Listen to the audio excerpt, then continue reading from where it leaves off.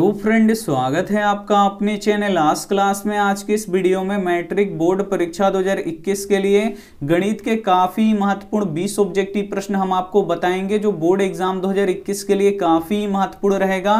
तो एक भी प्रश्न प्लीज़ आप लोग इसकी मत कीजिएगा, वीडियो को प्लीज़ आप लोग शुरू से लेके अंत तक देखिएगा। और चैनल को सब्सक्राइब नहीं किए तो चैनल को सब्सक्राइब भी कर लीजिएगा, साथ में बेलाइकन को ऑल पे दबा लीजिएगा, ताकि जब भी क्लास हो तो आपके पास नोटिफिकेशन पहुँचता रहे। तो आइए शुरू करते हैं पहले नंबर प्रश्न से।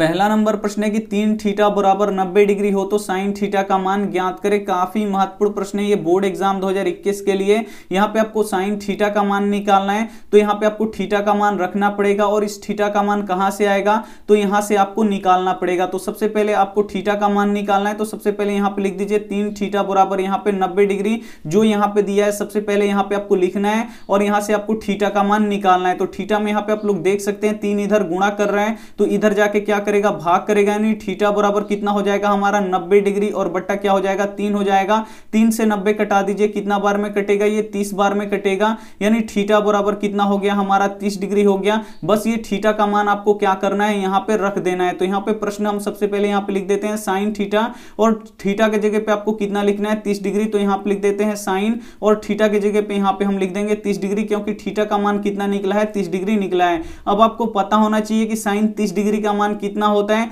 तो साइन तीस डिग्री का मान कितना होता है, एक बट्टा दो होता है। यानी यहाँ पे ए ऑप्शन क्या हो जाएगा? यहाँ पे बिल्कुल ही सही हो जाएगा। तो उम्मीद करते हैं ये प्रश्न आपको काफ़ी अच्छी तरीके से समझ में आया होगा। समझ में आ रहा है तो प्लीज़ आप लोग वीडियो को शुरू से लेकर अंत तक ज़रूर देखिएगा। आइए देखते हैं अगला प्रश्न दो नंबर। दो नंबर प्रश्न है, यदि पाँच साइन ए बराबर आठ कोस ए हो तो कॉट ए का मान निकाले। ये भी काफ़ी महत्वपूर्ण प्रश्न है, बोर्ड एग्ज़ाम 2021 के लिए। यहाँ पे आपको कॉट ए का मान निकालना है तो सबसे पहले जो ये प्रश्न दिया है, सबसे पहले हम यहाँ पे लिखते हैं। यहाँ पे दिया है पाँच साइन ए बराबर क्या दिया है? आठ कॉस ए अब यहाँ पे बोल रहा है कि कॉट ए का मान निकालिए तो इधर देखिए साइन इधर गुणा कर रहा है तो इधर आके क्या करेगा? भाग करेगा तो इधर बच जाएगा हमारा पाँच, और उधर क्या हो जाएगा? आठ कॉस ए और बट्टा के नीचे क्या हो हो जाएगा, इधर साइन, इधर गुणा कर रहा है तो इधर आके क्या करेगा? भाग कर देगा। तो इधर एक फॉर्मूला बन गया, यहाँ पे आप लोग देख सकते हैं कि कॉस ए बट्टा साइन है तो कॉस ए बट्टा साइन है क्या होता है? तो ये होता है कॉट ए हो जाता है। तो कॉस ए बट्टा साइन ए के जगह पे हम क्या रख देंगे? यहाँ पे कॉट ए रख देंगे। तो इधर हो गया हमारा पाँच और इधर आठ और गुड़े ये क्या होगा? कॉस ए बट्टा साइन ए ये क्या हो जाता है? कॉट ए हो जाता है। तो यहाँ पे लिख देंगे कॉट ए अब यहाँ पे देखिए आपको कॉट ए का मान निकालना है। तो आठ इधर गुणा कर रहा है तो इधर आके क्या करेगा? भाग करेगा नहीं पाँच बट्टा क्या हो जाएगा? आठ, बराबर के उधर क्या बचेगा? हमारा कोट ए बचेगा। यानी कोट ए का मान कितना निकल गया? पाँच बट्टा आठ निकल गया। यानी यहाँ पे डी ऑप्शन क्या हो जाएगा? यहाँ पे बिल्कुल ही सही हो जाएगा। तो उम्मीद करते हैं ये भी प्रश्न आपको काफ़ी अच्छी तरीके से समझ में आया होगा। आइए देखते हैं अगला प्रश्न यहाँ पे, तीन नंबर। तीन नंबर प्रश्न देखिए, काफ़ी महत्वपूर्ण प्रश्न है कि मूल बिंदु से बिंदु P यहाँ पे तीन, छह की बीच की दूरी निकाले, काफ़ी महत्वपूर्ण प्रश्न है तो मूल बिंदु से दूरी का सूत्र क्या होता है? तो अंडर रूट ये होता है, X square plus Y square होता है। अगर आपको नहीं पता है तो इसे आप लोग लिख लिख लीजिए और याद भी कर लीजिएगा कि मूल बिंदु से बीच की दूरी क्या होता है तो एक्स स्क्वायर प्लस क्या होता है, वाई स्क्वायर अंडर रूट में होता है, इसे आपको याद रखना है। तो यहाँ पे देखिए बिंदु है तो इसका पहला वाला क्या होगा, एक्स होगा और दूसरे वाला क्या होगा, यहाँ पे वाई होगा, बस इसमें आपको रख देना है। तो एक्स का मान कितना है, तीन है तो यहाँ पे हो जाएगा, तीन का स्क्वायर प्लस है तो प्लस y का मान कितना है? छह है तो यहाँ पे हो जाएगा छह का स्क्वायर अब यहाँ पे देखिए अंडर रूट तीन का स्क्वायर कितना होगा? नौ होगा और छह का स्क्वायर कितना हो जाएगा? छत्तीस. और यहाँ पे देखिए नौ में छत्तीस जोड़ेंगे तो कितना हो जाएगा? पैंतालीस हो जाएगा अंडर रूट लेकिन यहाँ पे कोई ऑप्शन नहीं है तो पैंतालीस का क्या करना पड़ेगा? आपको अभाज्य गुणनखंड करना पड़ेगा। तीन से कटाएँगे तो ये पंद्रह बार में कटेगा, फिर तीन से ये कितना बार में कटेगा? पाँच बार में कटेगा। तो यहाँ पे लिखेंगे अंडर रूट तीन गुड़े तीन गुड़े अब यहाँ पे पाँच हो जाएगा। अब यहाँ पे देखिए तीन का यहाँ पे जोड़ा लग रहा है तो तीन क्या हो जाएगा? बाहर निकल जाएगा और पाँच का यहाँ पे जोड़ा नहीं लग रहा है तो ये रूट के अंदर ही रह जाएगा। तो ये क्या हो जाएगा? हमारा तीन रूट पाँच हो जाएगा। यानी यहाँ पे डी ऑप्शन क्या हो जाएगा? यहाँ पे बिल्कुल ही सही हो जाएगा। तो उम्मीद करते हैं ये भी प्रश्न आपको काफ़ी अच्छी तरीके से समझ में आया होगा। आइए देखते हैं अगला प्रश्न यहाँ पे चार नंबर।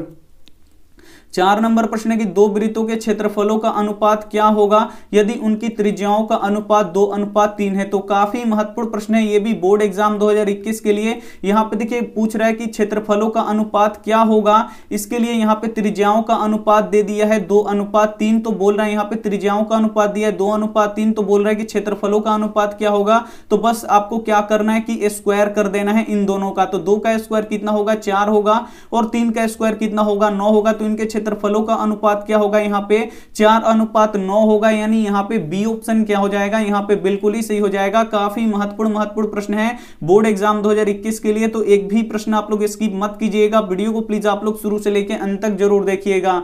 आइए देखते हैं अगला प्रश्न, पाँच नंबर।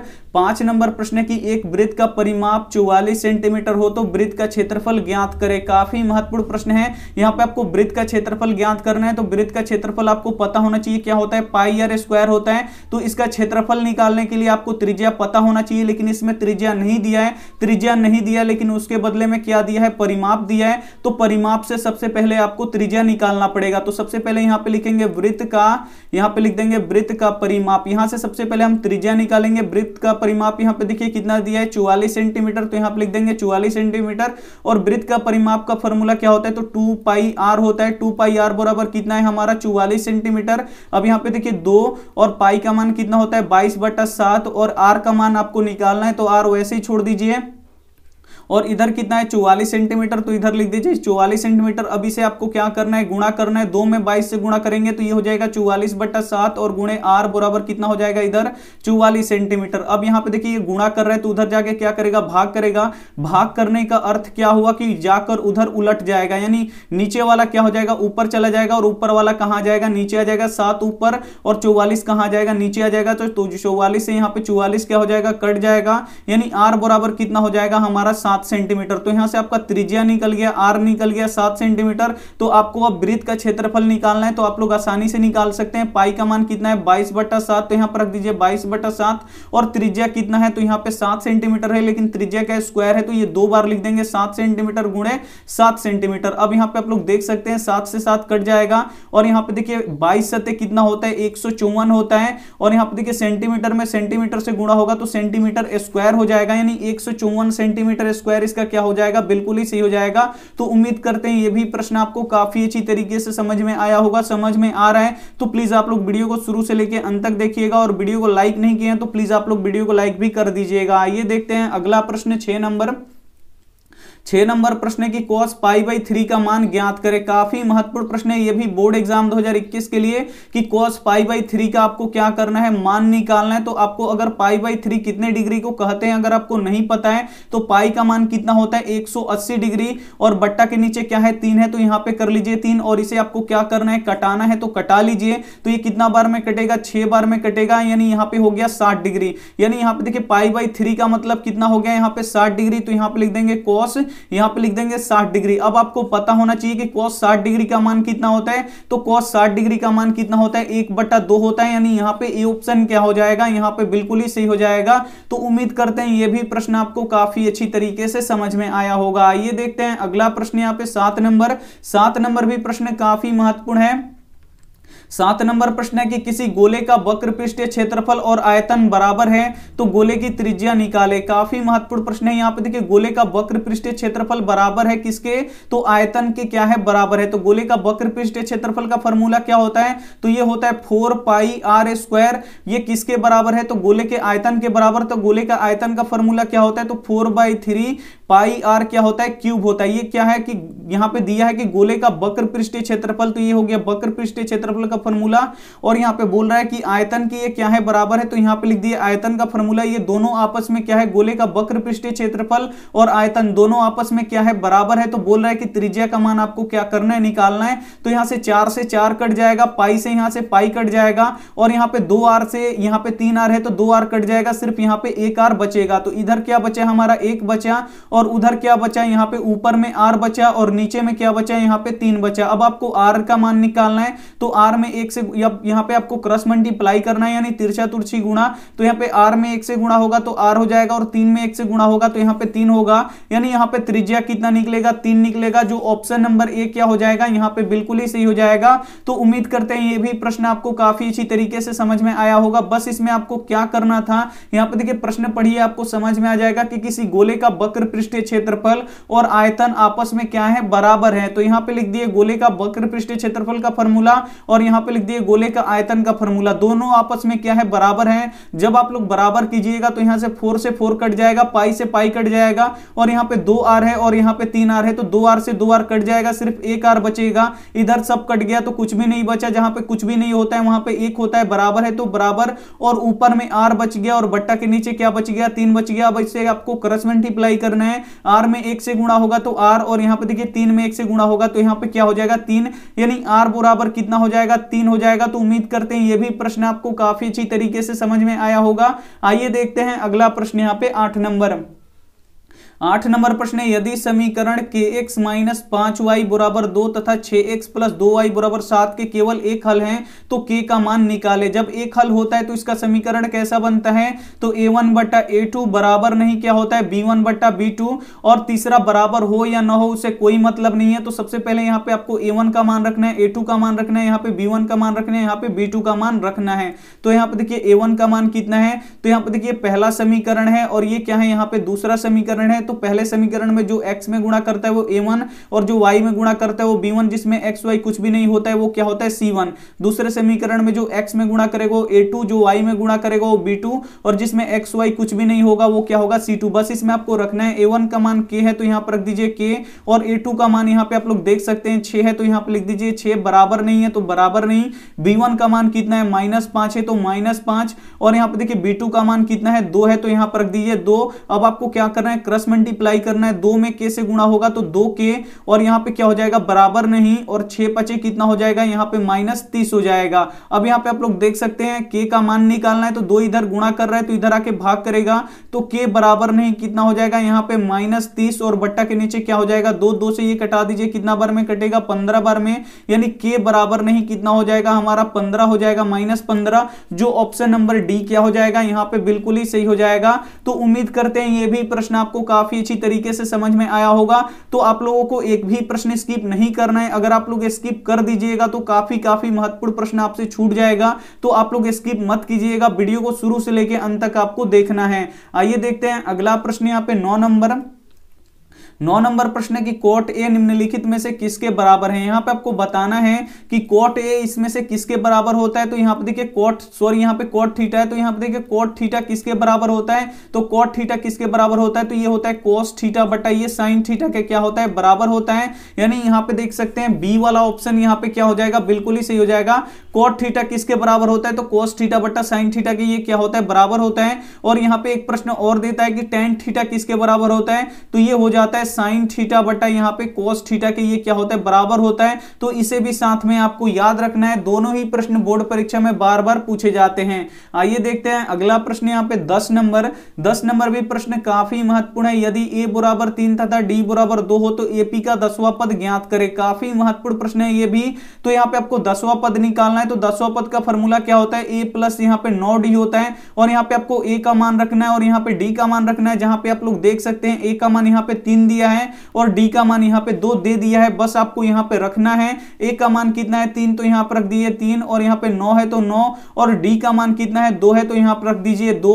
अब यहाँ पे देखिए तीन प्लस यहाँ पे देखिए नौ दूना कितना हो जाएगा? अट्ठारह हो जाएगा। अब आपको क्या करना है? यहाँ पे आपको क्या करना है? जोड़ना है तो अठारह और तीन कितना हो जाएगा यहाँ पे? अठारह तीन कितना होता है? इक्कीस होता है। यानी यहाँ पे सी ऑप्शन क्या हो जाएगा? यहाँ पे बिल्कुल ही सही हो जाएगा। तो उम्मीद करते हैं ये भी प्रश्न आपको काफ़ी अच्छी तरीके से समझ में आया होगा और ये भी प्रश्न बोर्ड एग्ज़ाम 2021 के लिए काफ़ी महत्वपूर्ण है। यहाँ पे देखिए ए बराबर तीन दिया था, डी बराबर दो दिया था तो बोल रहा है कि एपी का दसवा पद ज्ञात करे तो दसवा पद का फॉर्मूला क्या होता है? ए प्लस नौ डी। यहाँ पे आपको ए का मान रखना है और यहाँ पे आपको डी का मान रखना है। यहाँ पे देखिए ए का मान तीन है तो ए के जगह पे तीन रख देना है प्लस है तो प्लस नौ है तो नौ, और डी के जगह पे आपको कितना रखना है? दो रखना है तो यहाँ पर रख दिए दो। और सबसे पहले आपको यहाँ पे जोड़ना नहीं है, सबसे पहले आपको क्या करना है? गुणा करना है तो नौ दूनी कितना हो जाएगा? यहाँ पे अठारह और प्लस तीन है तो यहाँ पे प्लस तीन। अठारह और तीन जोड़िएगा तो कितना हो जाएगा? इक्कीस हो जाएगा। यानी यहाँ पे सी ऑप्शन क्या हो जाएगा? यहाँ पे बिल्कुल ही सही हो जाएगा। ये देखते हैं, अगला प्रश्न यहाँ पे ग्यारह नंबर। ग्यारह नंबर प्रश्न है कि पी एक्स चार एक्स के पावर चार plus three X square minus five X cube plus two X minus पाँच में बहुपद का घात कितना है? तो यहाँ पे आपको बताना है कि इस बहुपद का घात कितना है? तो चर का जो सबसे महत्तम घात होता है, वही इस बहुपद का क्या होता है? घात होता है। तो चर क्या है? यहाँ पे एक्स है, सभी में यहाँ पे क्या है? चर एक्स है। और एक्स का जो भी महत्तम घात, यानी जो सबसे इसमें बड़ा घात होगा, वही इस बहुपद का क्या होगा? घात होगा। तो यहाँ पे एक्स का घात एक है, और यहाँ पे तीन है, और यहाँ पे दो है, और यहाँ पे चार है। तो कौन सबसे ज़्यादा है? तो यहाँ पे चर का यहाँ पे महत्तम घात, यानी चार है। यानी इस बहुपद का घात कितना है? चार है, यानी यहाँ पे सी ऑप्शन क्या हो जाएगा? यहाँ पे बिल्कुल ही सही हो जाएगा। तो ये कौन सा बहुपद होगा? तो ये चरघात बहुपद होगा और चतुर्थ घात बहुपद का यहाँ पे शून्यकों की संख्या कितना होता है? तो चार होता है तो ये भी साथ में आपको याद रखना है। आइए देखते हैं अगला प्रश्न, बारह नंबर। बारह नंबर भी प्रश्न काफ़ी महत्वपूर्ण प्रश्न है बोर्ड एग्ज़ाम 2021 के लिए।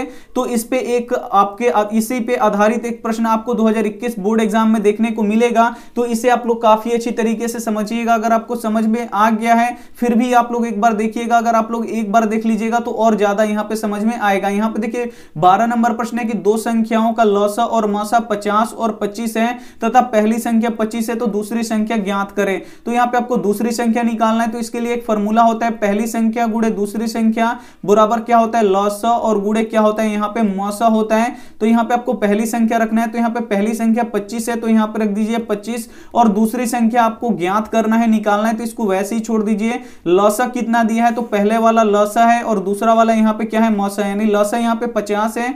तो यहाँ पे लिख दीजिए पचास और मौसा कितना है? पच्चीस है। तो यहाँ पे लिख दीजिए पच्चीस। और यहाँ पे देखिए, अब आपको दूसरी संख्या निकालना है तो पच्चीस इधर गुणा कर रहा है तो इधर आके क्या करेगा? भाग करेगा। यानी दूसरी संख्या संख्या बराबर क्या हो जाएगा? यहाँ पे 50 और गुड़े 25 और बट्टा के नीचे आ जाएगा। 25 तो 25 से 25 कट जाएगा। यानी दूसरी संख्या बराबर कितना हो जाएगा? हमारा 50 हो जाएगा। जो ऑप्शन नंबर ए क्या हो जाएगा? यहाँ पे बिल्कुल ही सही हो जाएगा। तो ये भी प्रश्न आपको काफ़ी अच्छी तरीके से समझ में आया होगा। आइए देखते हैं अगला प्रश्न यहाँ पे, तीन नंबर।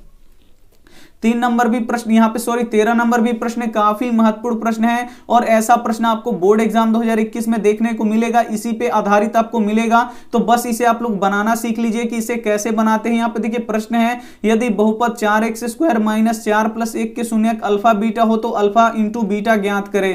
तो यहाँ पे आपको अल्फ़ा इंटू बीटा निकालना है तो अल्फ़ा इंटू बीटा को क्या कहते हैं? शून्यकों का गुणनफल कहते हैं और शून्यकों का गुणनफल क्या होता है? ये सी बट्टा ए होता है, बस यहाँ पे आपको सी का मान रखना है ए का मान रखना है तो यहाँ पे जो एक्स स्क्वायर में गुणा करता है वो ए होता है और जो केवल एक्स में गुणा करता है वो बी होता है और जिसमें एक्स वाई कुछ भी नहीं होता है वो क्या होता है यहाँ पे सी होता है तो सी का मान यहाँ पे आप लोग देख सकते हैं एक है तो यहाँ पे एक और ए का मान यहाँ पे आप लोग देख सकते हैं चार है तो यहाँ पे हो जाएगा चार यानी यहाँ पे अल्फ़ा इंटू बीटा कितना होगा एक बटा चार होगा यानी यहाँ पे ए ऑप्शन क्या हो जाएगा यहाँ पे बिल्कुल ही सही हो जाएगा एक प्रश्न यहाँ पे ये भी पूछता है कि शून्यकों का योग ज्ञात कीजिए यानी अल्फ़ा प्लस बीटा का मान आपको क्या करना है निकालना है तो अल्फ़ा प्लस बीटा का यहाँ पे फॉर्मूला क्या होता है तो ये होता है माइनस बी बट्टा है बस यहाँ पे आपको बी का मान रखना है और यहाँ पे ए का मान रखना है। तो यहाँ पे सबसे पहले माइनस है तो यहाँ पे लिख दीजिए माइनस। अब यहाँ पे आपको बी का मान रखना है तो बी का मान आप लोग देख सकते हैं, माइनस है। तो यहाँ पे लिखना पड़ेगा आपको माइनस और ए का मान कितना है, चार है। तो यहाँ पे लिखना पड़ेगा आपको चार। तो माइनस माइनस क्या हो जाएगा? प्लस चार बट्टा चार कट के कितना हो जाएगा? एक हो जाएगा।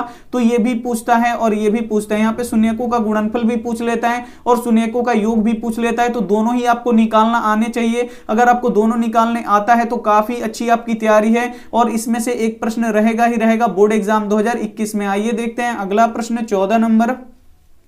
चौदह नंबर प्रश्न की एक्स स्क्वायर प्लस सात एक्स प्लस बारह के शून्य अल्फ़ा बीटा हो तो अल्फ़ा प्लस बीटा का मान ज्ञात करें। यहाँ पे आपको अल्फ़ा प्लस बीटा का मान निकालना है तो अभी हम आपको बता चुके हैं अल्फ़ा प्लस बीटा का फॉर्मूला क्या होता है तो माइनस बी बटा ए होता है। तो यहाँ पे आपको बी का मान रखना है ए का मान रखना है तो जो एक्स स्क्वायर में गुड़ा करेगा वो ए होगा, जो एक्स में गुड़ा करेगा वो बी होगा, और जिसमें एक्स वाई कुछ भी नहीं होगा वो क्या होगा, यहाँ पे सी होगा तो यहाँ पे माइनस है तो माइनस लिख दीजिए। बी का मान यहाँ पे आप लोग देख सकते हैं, सात है तो यहाँ पर रख दीजिए सात, और ए का मान कितना है? एक है तो यहाँ पे लिख दीजिए एक तो माइनस सात बट्टा एक कितना होगा? माइनस सात होगा। यानी यहाँ पे ए ऑप्शन क्या हो जाएगा? यहाँ पे बिल्कुल ही सही हो जाएगा। तो उम्मीद करते हैं ये भी प्रश्न आपको काफ़ी अच्छी तरीके से समझ में आ गया होगा। अगर इसी प्रश्न में यहाँ पे पूछ देता कि अल्फ़ा इंटू बीटा ज्ञात करे तो अल्फ़ा इंटू बीटा का यहाँ पे फिर हम फॉर्मूला लिखेंगे। ये क्या होता है? तो ये होता है सी बट्टा ए बस यहाँ पे आपको सी का मान रखना है और यहाँ पे ए का मान रखना है। सी का मान कितना होता है? तो यहाँ पे दिया है सी का मान 12 तो यहाँ पे रख दीजिए 12 और ए का मान कितना है? यहाँ पे देख सकते हैं, कुछ भी नहीं है। जहाँ पे कुछ भी नहीं होता है, वहाँ पे क्या होता है? एक होता है। तो 12 बट्टा एक कितना हो जाएगा? यहाँ पे 12 हो जाएगा।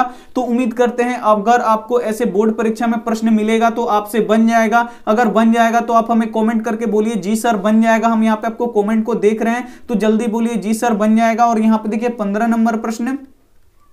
पंद्रह नंबर प्रश्न है कि निम्नलिखित में से कौन एपी में नहीं है? एक प्रश्न ये भी पहचानने वाला आता है कि कौन एपी में है कौन एपी में नहीं है तो इसे आपको पहचानना आना चाहिए कि कौन एपी में है कौन एपी में नहीं है। तो यहाँ पे चार ऑप्शन दिया है तो जो भी एपी में होगा तो उसका सार्व अंतर क्या होगा? बराबर आएगा। ये आपको यहाँ पे याद रखना है सार्व अंतर क्या होता है? तो दो पदों का अंतर हमेशा क्या होना चाहिए? बराबर होना चाहिए। अगर वो एपी में है तो, तो यहाँ पे देखिए चार में से दो घटाएँगे तो कितना बचेगा? दो बचेगा छह में से चार घटाएँगे तो दो बचेगा। और यहाँ पे देखिए आठ में से छह घटाएँगे तो दो बचेगा। तो यहाँ पे आप लोग देख सकते हैं, इसका सार्व अंतर क्या आ रहा है? बराबर आ रहा है, यानी ये एपी में है। और यहाँ पे देखिए पाँच में से जब तीन घटाएँगे तो ये कितना बचेगा? दो बचेगा। सात में से पाँच घटेगा तो ये भी दो बचेगा। नौ में से सात घटेगा तो ये भी दो बचेगा, यानी ये भी एपी में है। और यहाँ पे देखिए सी ऑप्शन दस में से छह घटेगा तो कितना बचेगा? चार। चौदह में से दस घटेगा तो कितना बचेगा? चार। तो यहाँ पे यहाँ पे यहाँ पे देख सकते हैं, यहाँ पे सार्वांतर बराबर आ रहा है, यानी ये भी एपी में है। अब इसे चेक कर लीजिए। दो में से यहाँ पे देखिए एक घटाएँगे तो कितना बचेगा? एक बचेगा, चार में से दो घटाएँगे तो दो बचेगा।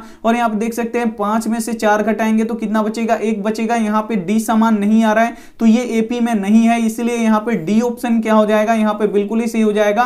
प्रश्न पूछ रहा है कि कौन एपी में नहीं है तो डी वाला ऑप्शन क्या है? यहाँ पे एपी में नहीं है। क्यों नहीं है? क्योंकि यहाँ पे डी समान नहीं आ रहा है। बाकी इन तीनों में डी यहाँ पे समान आ रहा है, लेकिन डी वाले में यहाँ पे समान नहीं आ रहा है। तो उम्मीद करते हैं ये भी प्रश्न आपको काफ़ी अच्छी तरीके से समझ में आया होगा। समझ में आ रहा है तो प्लीज़ आप लोग वीडियो को शुरू से लेकर अंत तक देखिएगा और वीडियो को लाइक नहीं किए हैं तो प्लीज़ आप लोग वीडियो को लाइक कीजिएगा और वीडियो को स्किप नहीं करना है। काफ़ी महत्वपूर्ण महत्वपूर्ण प्रश्न है। तो आप लोग यहाँ पे बनाने का तरीका सीखिए। अगर पहले से भी आपको आता है तो उसे फिर से आप लोग देखिए ताकि वो आपका रिविजन हो सके। आइए देखते हैं अगला प्रश्न यहाँ पे सोलह नंबर। सोलह नंबर प्रश्न देखिए कि किसी वृत्त की बाह्य बिंदु, यहाँ पे देखिए किसी वृत्त के एक बाह्य बिंदु से वृत्त पर कितनी स्पर्श रेखा खींची जा सकती है। यहाँ पे बोला गया है कि एक वृत्त है और उसका एक बाह्य बिंदु है तो वृत्त के एक बाह्य बिंदु से वृत्त पर कितनी स्पर्श रेखा खींची जा सकती है? तो यहाँ पे देखिए दो, कम से कम यहाँ पे दो स्पर्श रेखा, आपसे एक बिंदु से दो स्पर्श रेखा खींचा जा सकता है। यानी यहाँ पे सी ऑप्शन क्या हो जाएगा? यहाँ पे बिल्कुल ही सही हो जाएगा। एक प्रश्न ये भी देता है कि एक वृत्त है और वृत्त के अंदर एक बिंदु है तो इससे कितना स्पर्श रेखा खींचा जा सकता है? तो यहाँ पे जब आप लोग खींचिएगा तो ये क्या हो जाएगा? छेदक रेखा हो जाएगा तो इससे एक भी स्पर्श रेखा नहीं खींचा जा सकता है। तो इसे भी साथ में आपको याद रखना। और एक प्रश्न ये भी देता है कि वृत्त के अगर दो बाह्य बिंदु है तो दो या दो बाह्य बिंदु से वृत्त पर कितनी स्पर्श रेखा खींची जा सकती है? तो एक बिंदु से दो स्पर्श रेखा खींची जा सकती है। और फिर ये भी एक बिंदु है तो इससे भी आप लोग दो स्पर्श रेखा खींच सकते हैं। यानी दो बाह्य बिंदु से वृत्त पर कितनी स्पर्श रेखा खींची जा सकती है? तो चार खींची जा सकती हैं। तो इसे भी साथ में आपको याद रखना है, कोई भी प्रश्न आपसे पूछा जा सकता है। एक प्रश्न यह भी पूछा जाता है कि वृत्त पर कितनी स्पर्श रेखा खींची जा सकती है? तो वृत्त पर अनंत स्पर्श रेखा खींची जा सकती है। तो यह भी साथ में आपको याद रखना है। तो उम्मीद करते हैं ये सभी प्रश्न आपको काफ़ी अच्छी तरीके से समझ में आया होगा। समझ में आ रहा है तो प्लीज़ आप लोग वीडियो को शुरू से लेकर अंत तक ज़रूर देखिएगा। एक प्रश्न ये भी रहेगा आपसे, हंड्रेड रहेगा बोर्ड एग्ज़ाम 2021 में।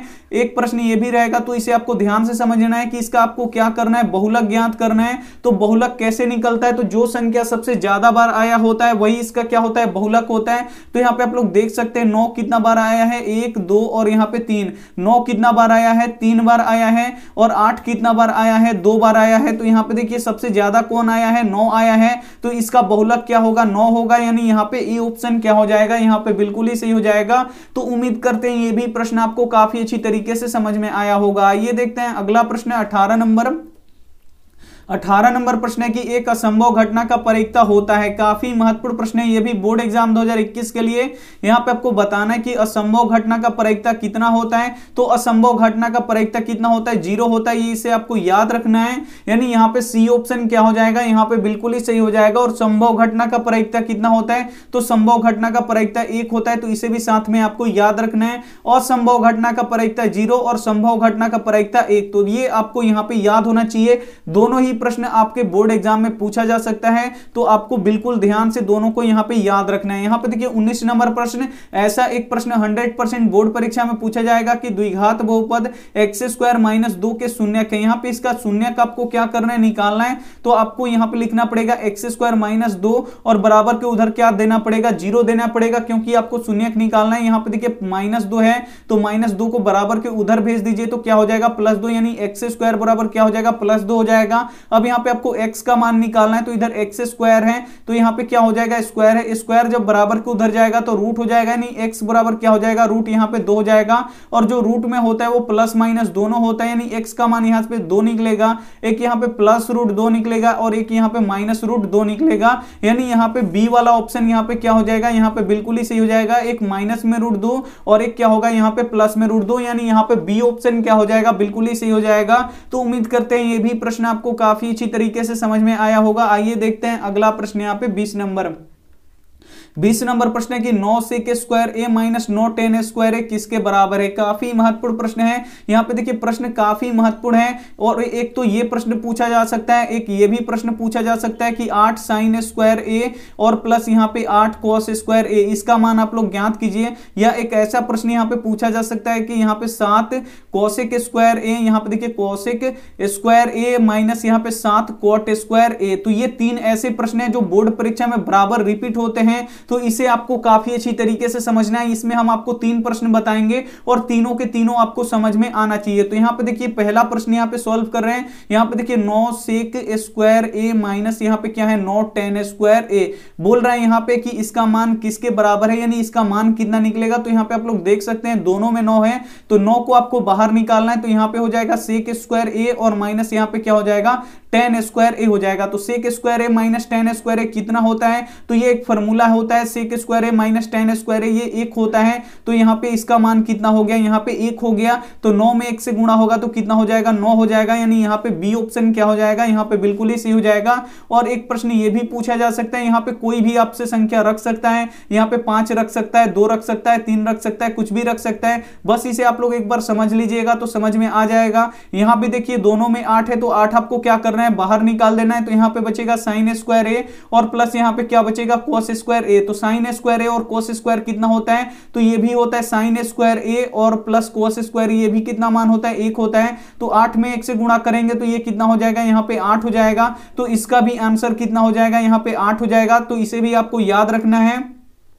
और समझ के रखना है। अब इसे भी देख लीजिए, यहाँ पे सात है। कोई भी यहाँ पे अंक रह सकता है। तो यहाँ पे देखिए, यहाँ भी सात है, यहाँ भी सात है। तो आपको सात को कॉमन निकालना है और यहाँ पे आपको लिख देना है यहाँ पे कि कोसेक स्क्वायर ए और माइनस क्या है? यहाँ पे कोट स्क्वायर ए तो कोसेक स्क्वायर ए और माइनस कोट स्क्वायर ए कितना होता है? तो ये एक होता है तो सात इंटू एक यहाँ पे हो गया। तो सात में जब एक से गुणा होगा तो ये कितना होगा? सात होगा। तो ये तीनों प्रश्न अगर आपको बनाने आ गया तो एक नंबर आपका यहाँ पे बोर्ड एग्ज़ाम दो हज़ार इक्कीस में पक्का हो गया। हंड्रेड परसेंट इस पे नंबर आएगा, एक प्रश्न एक नंबर का आएगा ही आएगा।